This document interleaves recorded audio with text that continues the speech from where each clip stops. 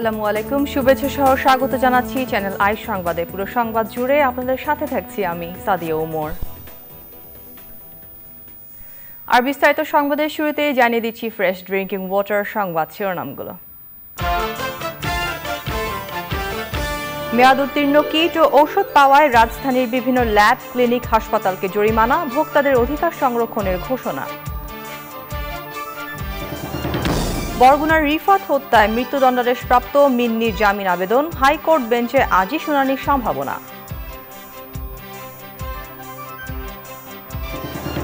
এবং ডনবাসের স্বাধীনতাকে অগ্রাধিকার বলে রাশিয়ার দাবি জেলেন্সকির প্রথমবারের মতো কিয়েভের বাইরে যুদ্ধক্ষেত্র পরিদর্শন।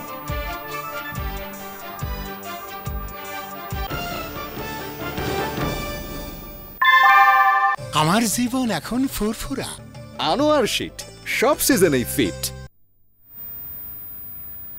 এখনকার সংবাদ আয়োজন একই সঙ্গে ইউটিউবে চ্যানেল আই লাইভ চ্যানেলে এবং ফেসবুক আমাদের ভেরিফাইড পেজে লাইভ স্ট্রিম হচ্ছে। চলে যাচ্ছি বিস্তারিত সংবাদে। সেনাবাহিনী নির্বাচনী পর্ষদ দু হাজার সভা হয়েছে ঢাকা সেনানিবাসের সেনা সদরে। প্রধানমন্ত্রী শেখ হাসিনার প্রধান অতিথি হিসেবে উপস্থিত থেকে আনুষ্ঠানিকভাবে পর্ষদের উদ্বোধন করেন। সেনাবাহিনীর কর্মকর্তাদের পদোন্নতির লক্ষ্যে ছয় দিনের এ পর্ষদের কার্যক্রম শুরু হলো। এর মাধ্যমে কর্নেল থেকে ব্রিগেডিয়ার জেনারেল এবং লেফটেন্যান্ট কর্নেল থেকে কর্নেল পদে পদোন্নতির বিষয়ে সিদ্ধান্ত নেওয়া হবে। সেনাবাহিনীর সর্বোচ্চ নীতি নির্ধারণী পর্যায়ের কর্মকর্তাদের সমন্বয়ে গঠিত এ পর্ষদের মাধ্যমে সেনাবাহিনীর ভবিষ্যৎ জ্যেষ্ঠ নেতৃত্বের জন্য মুক্তিযুদ্ধের চেতনায় বিশ্বাসী, মেধাবী, যোগ্য, দক্ষ কর্মকর্তারা অনুমোদন সাপেক্ষে পদোন্নতি পাবেন। বরগুনায় রিফাত হত্যা মামলায় হাইকোর্টে জামিন চেয়ে আবেদন করেছেন মৃত্যুদণ্ডাদেশপ্রাপ্ত আসামি আয়সা সিদ্দিকা মিন্নি। বিচারপতি মোস্তফা জামান ইসলামের নেতৃত্বে হাইকোর্ট বেঞ্চে তার জামিন আবেদনের ওপর শুনানি হতে পারে। এর আগে উনিশে জানুয়ারি বরগুনার আলোচিত রিফাত শরীফ হত্যা মামলায় মৃত্যুদণ্ডাদেশপ্রাপ্ত মিন্নি খালাস চেয়ে আপিল করেন। দু হাজার বিশ সালে ত্রিশে সেপ্টেম্বর বরগুনার জেলা ও দায়রা জজ আদালত মিন্নি সহ ছয়জনকে মৃত্যুদণ্ডাদেশ দেন। দু হাজার উনিশ সালের ছাব্বিশে জুন সকাল সাড়ে দশটার দিকে বরগুনা সরকারি কলেজ রোডের ক্যালিঙ্গ একাডেমির সামনে স্ত্রী মিন্নির সামনে রিফাত শরীফকে কুপিয়ে জখম করে নয়ন বন্ড ও রিফাত ফরাজির সহযোগীরা। পরে চিকিৎসাধীন অবস্থায় রিফাত মারা যান।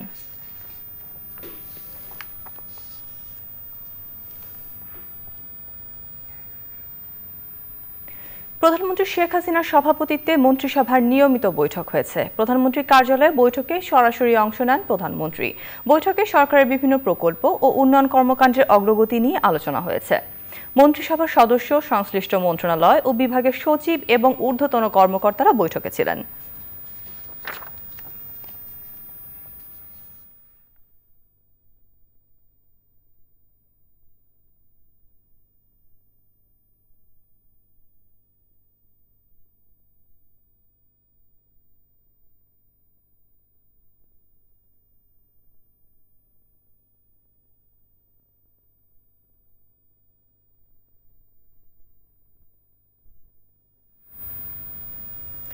মেগা প্রকল্পগুলো নিয়ে বিএনপি নেতারা মেগা মিথ্যাচার করছে বলে মন্তব্য করেছেন আওয়ামী লীগের সাধারণ সম্পাদক ওবায়দুল কাদের।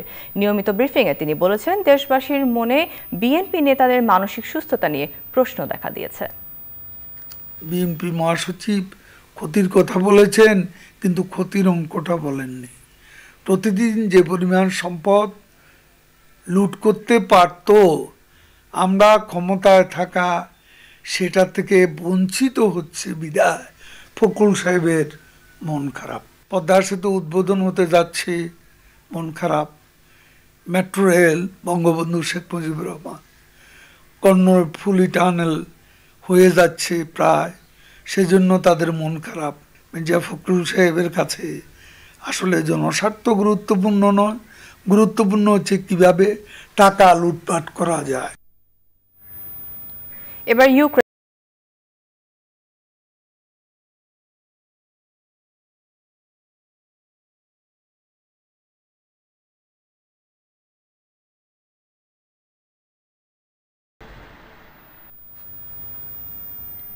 ইউক্রেনের পূর্বাঞ্চলে ডনবাসের স্বাধীনতাই রাশিয়ার মূল লক্ষ্য বলে জানিয়েছেন রুশ পররাষ্ট্রমন্ত্রী সার্গেই ল্যাভরভ কিয়েভের বাইরে প্রথমবার খারকিভে যুদ্ধক্ষেত্র পরিদর্শন করেছেন ইউক্রেনের প্রেসিডেন্ট ভলোদিমির জেলেন্সকি।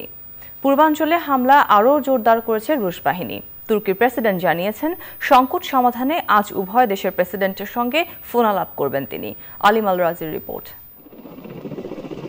তিন মাসের বেশি সময় ধরে ইউক্রেন জুড়ে চলছে রাশিয়ার বিশেষ সামরিক অভিযান। চলছে একের পর এক শহর দখল। তবে বিশ্লেষকরা বলছেন, যুদ্ধ পূর্বাঞ্চলের ডনবাস ঘিরে চললেও রাজধানী কিয়েভ ও উত্তরাঞ্চলের খার্কিভ দখলের আশা এখনও ছাড়েনি রুশ প্রেসিডেন্ট। রুশ পররাষ্ট্রমন্ত্রী সার্গে ল্যাভরাভও ডনবাসের স্বাধীনতা নিয়ে মস্কোর অবস্থান তুলে ধরেন। রাশিয়ার কাছে এটি এখন নিঃশর্ত অগ্রাধিকার বলেছেন তিনি। একই সাথে ইউক্রেনের অন্যান্য অঞ্চলেরও তাদের ভবিষ্যতের জন্য এখনই সিদ্ধান্ত নেওয়া উচিত মনে করেন তিনি। রুশ অভিযান শুরুর পর প্রথমবারের মতো রাজধানী কিয়েভের বাইরে উত্তর পূর্বের খার্কিব অঞ্চলের যুদ্ধক্ষেত্র গিয়ে সেনাদের সাথে সাক্ষাৎ করেছেন ইউক্রেনের প্রেসিডেন্ট ভলোদিমির জেলানস্কি।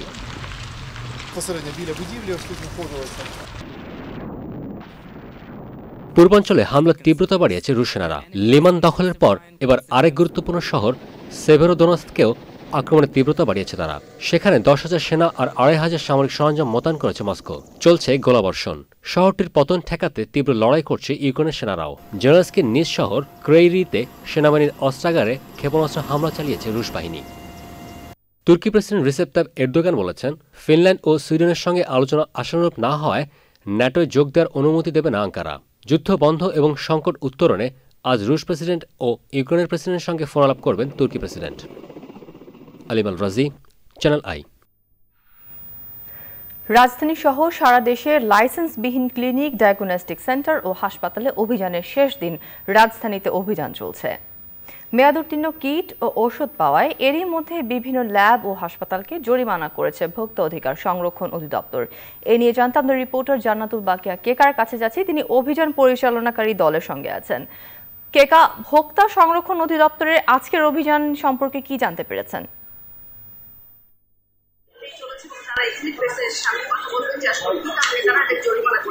আসলে কি জানিয়ে রাখি গত পঁচিশ মে স্বাস্থ্য সমস্ত সমস্ত বিভাগ একটা সিদ্ধান্ত হয়েছে, মিটিং হয়েছিল। মিটিং এর পরে সিদ্ধান্ত হয়েছিল যে কর্মকর্তা মধ্যে সারা দেশে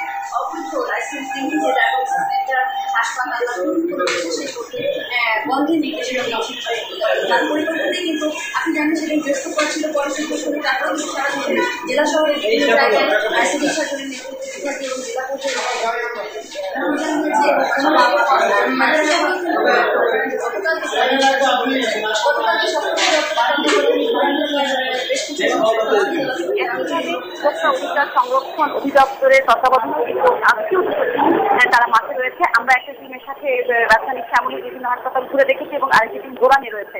এবং স্বাস্থ্য অধিদপ্তরের প্রাথমিক বিবরণী থেকে আমরা জানতে পেরেছি যে এই পর্যন্ত আটশো বিরাশিটা অবৈধ সেন্টার সেন্টার বন্ধ করে ঢাকা শহরেই একশো সাতষট্টি রয়েছে ঢাকা শহরে একশো সাতষট্টি গতকালকে দেওয়া হয়েছে।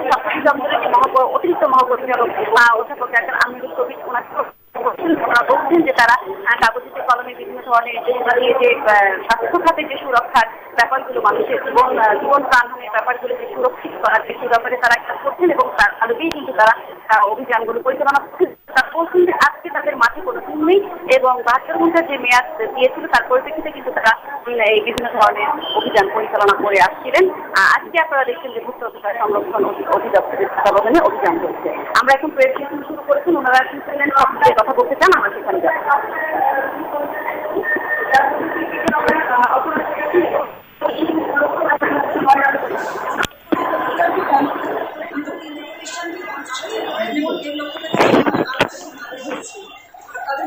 বিষয়টা ছিল যে ওনারা মেয়াদোত্তীর্ণ রিয়েজেন্ট এবং ওনাদের ল্যাবে মেয়াদোত্তীর্ণ রিয়েজেন্ট পাওয়া গিয়েছে। প্রায় গত বছরের মেয়াদোত্তীর্ণ রিয়েজেন্ট পাওয়া গিয়েছে। আর ওদের ফার্মেসিগুলোতেও মেয়াদোত্তীর্ণ ওষুধ ছিল তো আমরা ওদেরকে সতর্ক করেছি। তবে সবারই লাইসেন্স সঠিক আছে। লাইসেন্স জমা যাচ্ছে। ঠিক আছে। তবে তাদের অমনোযোগের জায়গাটা হচ্ছে যে বেশিরভাগ জায়গাগুলোতে আসলে নিয়মোত্তীর্ণ রিয়েজেন্ট নিয়মোত্তীর্ণ ওষুধ পাওয়া যাচ্ছে। যেগুলো থেকে আলটিমেটলি ভোক্তারা ক্ষতিগ্রস্ত হবে। তো ভোক্তা অধিকার সংরক্ষণ অধিদপ্তর সবসময় ভোক্তা স্বার্থ সুরক্ষায় কাজ করে আসছে এবং ভবিষ্যতে করবে। আমরা আমাদের আইনের আলোকে যতটুকু কাজ করার, সর্বোচ্চটা করার চেষ্টা করছি। এখানে আপনার মেয়াদোত্তীর্ণ ইঞ্জেকশন পেয়েছি আমরা, এবং সেটা জানুয়ারি মাসে মেয়াদোত্তীর্ণ হয়ে গেছে। এটা অলরেডি মে মাস শেষ। আসলে চার পাঁচ মাস আগে নেওকিন্ন ইঞ্জেকশন যদি আপনি এখানে থাকে সংরক্ষণ করেন, এটা কিন্তু রোগী আর পরীক্ষা করার সুযোগ নেই। এখানে কিন্তু হসপিটাল বা যারা সঙ্গে থাকে অ্যাটেন্ডেন্ট ওনারাও কিন্তু আর ডেটটা চেক করতে পারবেন না, কারণ ওনারা তো কিনছেন না। সরাসরি ফার্মেসি থেকে রোগীর বেড়ে চলে যাচ্ছে যার জন্য এখানে কিন্তু সচেতন হওয়ার মানে বেশি প্রয়োজন। এখানে আসলে একদম ওনাদের নেগলিজেন্স বা ইগনোরেন্স কিন্তু একেবারে জিরো হতে হবে। নাহলে কিন্তু যে কোনো রোগী যে কোনো সময় দর্শক, ভোক্তা সংরক্ষণ অধিদপ্তরের আজকের অভিযান সম্পর্কে দেখছিলেন। এবার অশোক লিল্যান্ড ইফা দটস বিরতি নিয়ে নিচ্ছি। আর বিরতির পর যা থাকছে। প্রথমবার খেলতে এসে বিরতির পর, চ্যানেল আই সংবাদে আবারও আমন্ত্রণ। নরসিংদী রেলওয়ে স্টেশনে পোশাক নিয়ে বিশ্ববিদ্যালয় পড়ুয়া তরুণীকে হেনস্থার ঘটনায় এক নারীকে গ্রেপ্তার করেছে র্যাব। রোববার রাতে জেলার শিবপুর উপজেলা ইটাখোলা থেকে তাকে গ্রেপ্তার করা হয়। র্যাব এগারো এর নরসিংদী ক্যাম্প কমান্ডার ফ্লাফ লেফটেন্যান্ট তৌহিদুল মোবিন খান জানিয়েছেন, শিবপুরে বোনের বাড়ি থেকে গ্রেপ্তার ওই নারী নরসিংদী সদরের উপজেলা মোড় এলাকার মার্জিয়া শায়লা ওরফে শিলা। তরুণীকে হেনস্থার ঘটনায় এর আগে ইসমাইল নামে একজনকে গ্রেপ্তার করে পুলিশ। একুশে মে রাতেই এ ঘটনায় ভৈরব রেলওয়ে থানায় মামলা করেন নরসিংদীর রেলওয়ে পুলিশের ইনচার্জ ইমায়েদুল জাহেদি। গ্রেপ্তার শিলাকে ভৈরব রেলওয়ে পুলিশের কাছে হস্তান্তর সহ পরবর্তী আইনি প্রক্রিয়া চলছে। যুক্তরাষ্ট্রের ডালাসে সংগীত পরিবেশন করে দর্শকদের মুগ্ধ করেছেন জনপ্রিয় নজরুল সংগীত শিল্পী ফেরদৌসারা সংগীত অনুষ্ঠানটি নিয়ে বিস্তারিত জানাচ্ছেন Iftekharul Chishti. Bangladesh association of north টেক্সাসের আয়োজনে যুক্তরাষ্ট্রের ডালাসে সম্প্রতি সংগীত পরিবেশন করেন ফেরদৌসারা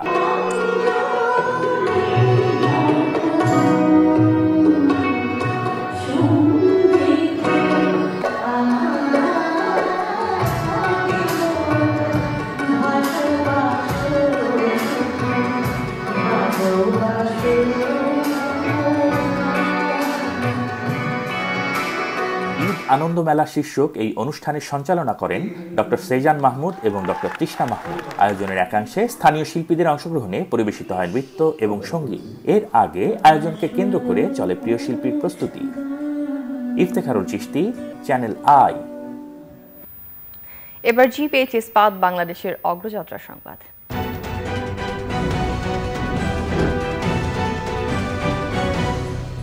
বুঝছি স্যার। একদম ক্লিয়ার। সেরা আর বিশ্ব সেরার মধ্যে অনেক তফাৎ। সত্যই বাংলাদেশ অনেক আগায় গেছে। জিপিএইচ কোয়ান্টাম নেত্রকোনার মোহনগঞ্জে দৃষ্টিনন্দন শিশু পার্ক নির্মাণ হচ্ছে। প্রায় উনিশ কোটি চুয়াল্লিশ লাখ টাকা ব্যয়ে প্রকল্পটির নির্মাণ কাজ শেষ হলে মোহনগঞ্জ সহ আশপাশের বিভিন্ন উপজেলার হাজার হাজার শিশুর সুস্থ আনন্দ ও বিনোদনের সুযোগ সৃষ্টি হবে। আর পৌরসভার এই উদ্যোগ ঘিরে সুস্থ চিত্ত বিনোদনের আশা করছেন নেত্রকোনাবাসী। নেত্রকোনা থেকে জাহিদ হাসানের তথ্য ভিডিওচিত্রে লালা নসিনের রিপোর্ট। নেত্রকোনা মোহনগঞ্জ সড়কের পাশে শিশু পার্ক প্রকল্পটির বাস্তবায়ন করছে মোহনগঞ্জ পৌরসভা।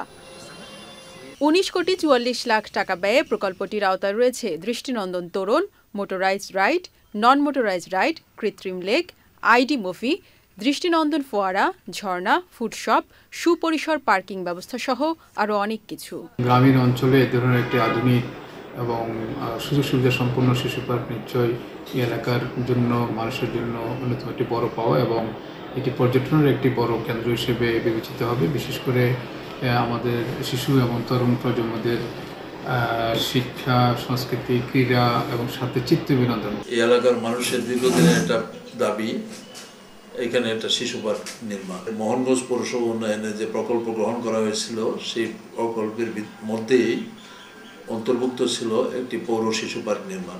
পার্কটি নির্মিত হলে মোহনগঞ্জ ছাড়াও আশপাশের এলাকার শিশুসহ সকল মানুষের সুস্থ বিনোদনের সুযোগ বাড়বে। নতুন প্রজন্মের ছেলে মেয়েদের মননশীলতার বিকাশের জন্যে চিত্ত বিনোদনের জন্য সুন্দর শিশু পার্ক হচ্ছে। আমার মনে হয় যে সারা নেত্রকোনা জেলায় এমনকি বৃহত্তর ময়মনসিংহেও এত সুন্দর শিশু পার্ক কোথাও আছে কিনা সেটা আমার জানা নেই। শিশু পার্কটি নির্মাণ হলে এটি হবে বৃহত্তর ময়মনসিংহের মধ্যে অন্যতম সুন্দর ও আকর্ষণীয় park. Laila Nausin channel I. এবার দেখবেন indie cafe global silk city সংবাদ।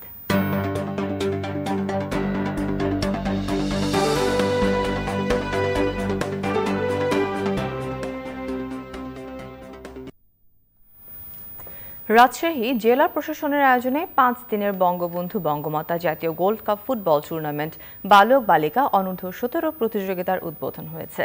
মুক্তিযুদ্ধ স্মৃতি স্টেডিয়ামে খেলা উদ্বোধন করেন বিভাগীয় commissioner G S M Zafrullah. আলোচনা সভা শেষে বেলুন উড়িয়ে বঙ্গবন্ধু বঙ্গমাতা জাতীয় গোল্ড কাপ ফুটবল টুর্নামেন্টের খেলা হয়। উদ্বোধনী খেলার উদ্বোধনী দিনে লড়াইয়ে নামে পবা বনাম মোহনপুর দল। সে সময় উপস্থিত ছিলেন রাজশাহী জেলা প্রশাসক আব্দুল জলিল, অতিরিক্ত জেলা প্রশাসক মোহাম্মদ শরীফুল, বিভাগীয় ক্রীড়া সংস্থার সহ সভাপতি মোহাম্মদ ডাবলু সরকার এবং অন্যরা। টুর্নামেন্টে রাজশাহী সিটি কর্পোরেশনের চারটি থানাসহ বালক তেরোটি ও বালিকা তেরোটি দল অংশ নিচ্ছে। এবার নিটল টাটা কৃষি সংবাদ।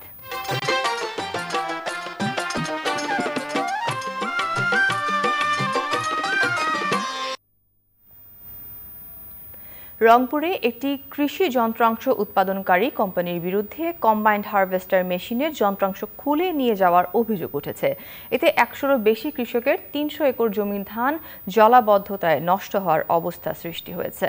প্রশাসনের হস্তক্ষেপ সহ ক্ষতিপূরণ চেয়েছেন ক্ষতিগ্রস্ত কৃষক। এসানুল হক সুমনের ভিডিও চিত্রে মেরিনা লাভলের রিপোর্ট। কয়েকদিনের টানা বৃষ্টিতে জলমগ্ন পাকা ধান ঘরে তুলতে পারেননি রংপুর সদর উপজেলার সদ্য পুষ্করণী ইউনিয়নের শতাধিক কৃষক। জমি শুষ্ক থাকতেই কম্বাইন্ড হারভেস্টার দিয়ে জমির সব ধান কেটে নেয়ার কথা থাকলেও কিস্তি পরিশোধ না করার অজুহাতে হারভেস্টারের মেশিনের যন্ত্রাংশ খুলে নেয়ার অভিযোগ উঠেছে উৎপাদনকারী প্রতিষ্ঠানের বিরুদ্ধে।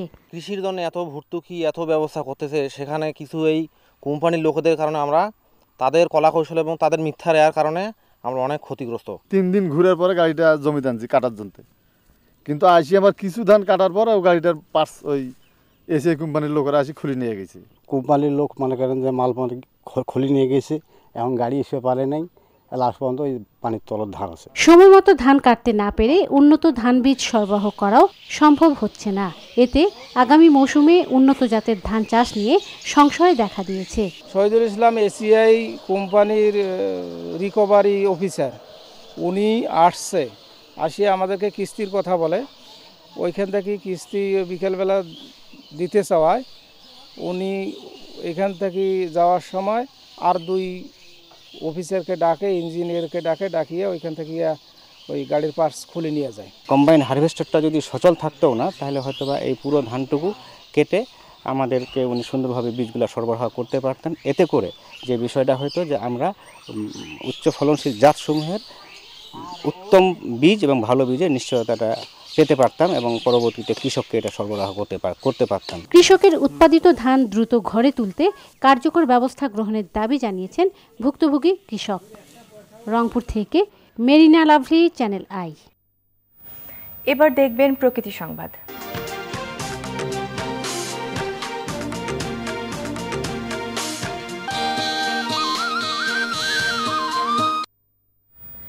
খাগড়াছড়ি পৌরসভার বর্জ্যে দূষিত হচ্ছে পাহাড়, ঝিরি ও নদী। দূষণের কারণে ছড়ার পানি ব্যবহার করতে পারছেন না স্থানীয়রা। বর্জ্যের দুর্গন্ধে অতিষ্ঠ এলাকাবাসী ও পথচারীরা। সমস্যা সমাধানে সহসাই উদ্যোগ নেওয়ার কথা জানিয়েছে পৌরসভা। আজহার হীরা তথ্য ভিডিও চিত্রে সৌমিক আহমেদের রিপোর্ট। জেলার প্রধান পর্যটন কেন্দ্র আলুটিলা পাহাড়ে শহরের পয় ও গৃহস্থলী সহ সব ধরনের ময়লা আবর্জনা ফেলছে খাগড়াছড়ি পৌরসভা। খাগড়াছড়ি, চট্টগ্রাম ও খাগড়াছড়ি ঢাকা সড়কের পাশে ময়লার ভাগার গড়ে তোলা হয়েছে। বৃষ্টিতে এসব বর্জ্য নদীতে গিয়ে পড়ে। বর্জ্যের কারণে দূষিত হচ্ছে পাহাড়ি পরিবেশ প্রতিবেশ। হুমকিতে পড়ছে জনস্বাস্থ্য। ওইদিকে বড় সিঙ্গে নদী আছে, আর এদিকে ছোট কাল আছে। এই কালে পড়লে এই এগুলো দূষিত হয়ে যাবে পানি দূষিত হয়ে যাবে। পানি খাইতে পারে না গোসল করতে পারে না। মানা করলেও মানা শুনে না পুরসভার গোলা কি করব? পর্যটক বা এলাকাবাসীর সাথে এটা অনতি দূরে আরও ময়লাগুলো ফেলানো যার মতো ব্যবস্থা করা। ক্ষোভ প্রকাশ করে বন বিভাগ জানিয়েছে পৌরবর্জ্য পাহাড়ি জীববৈচিত্র্যের বিপর্যয় ডেকে আনবে।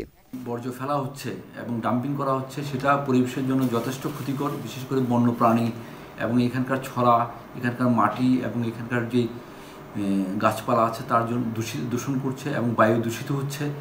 এতে করে একদিকে যেমন জনস্বাস্থ্যের সমস্যা হচ্ছে অন্যদিকে বন্যপ্রাণীরও ব্যাপক ক্ষতি হওয়ার সম্ভাবনা রয়েছে। পরিবেশ বান্ধব পদ্ধতিতে বর্জ্য ব্যবস্থাপনার কথা জানিয়েছে পৌরসভার মেয়র।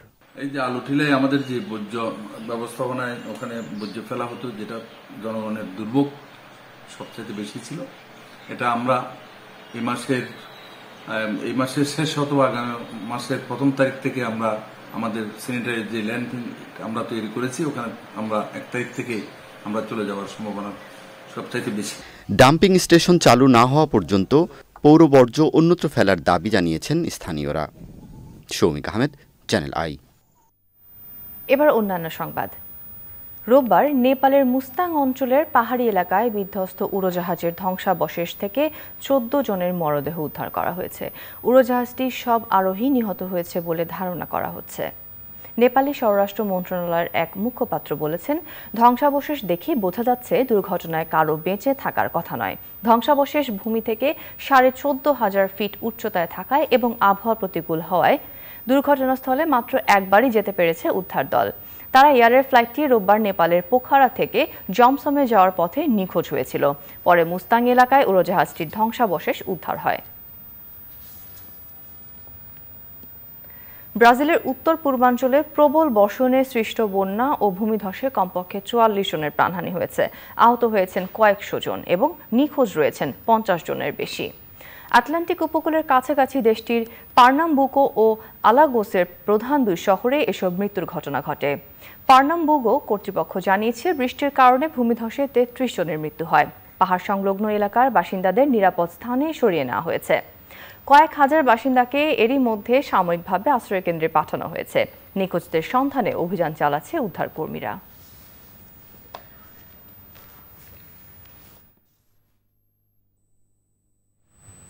এবার দেখবেন পার্টেক্স ফার্নিচার খেলার খবর।